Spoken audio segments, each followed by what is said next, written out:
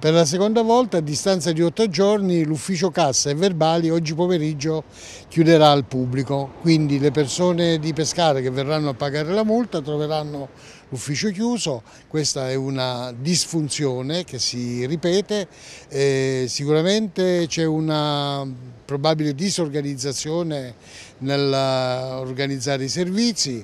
forse sono stati spostati degli operatori della Polizia Municipale eh, presso altri servizi, ma questo è, significa lo stato di abbandono in cui versa il comando della Polizia Municipale di Pescara sotto il disinteresse dell'amministrazione Alessandrini.